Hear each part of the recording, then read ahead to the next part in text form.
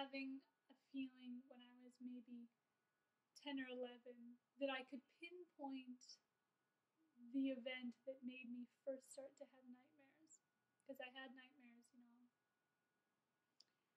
But I remember thinking at the time that a book I had got, I had checked out of the library in the first grade about poisonous snakes, had been what first gave me a nightmare. First nightmare was from this, from this image of this book. And that was the moment that, you know, gave me nightmares for the rest of my life. I remember, like, figuring this out, like, having a little logical aha when I was about 10 or 11. But anyway, the image that is the culprit in this situation is this sort of I wish I could find this book now, but it's this sort of dark, rectangular, close up shot of a snake. It looks like it's coming out of the ground. But it's very close up, so it's probably just the head of the snake. You know, and here it's all dark, and there's maybe some soil here, very primordial looking, dark, moist, wet, black soil.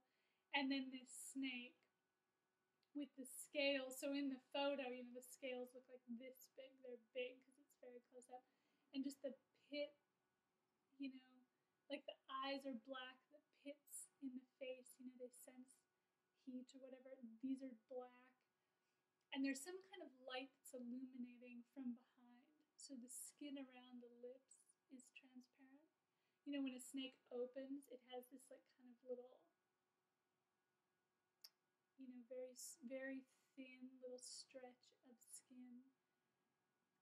And it's pink and very fleshy, and you could probably see veins, you know. So the light is coming from behind and illuminating this little bit of skin, and you can see the teeth. And the teeth don't look particularly menacing. Actually, the snake doesn't look particularly menacing. I mean, it's not like ah, like biting something or anything. It's just the the sort of ambiance of the photo, the black, the, the, the you know, the, the fleshy lip skin. And that's what did it. That's what gave me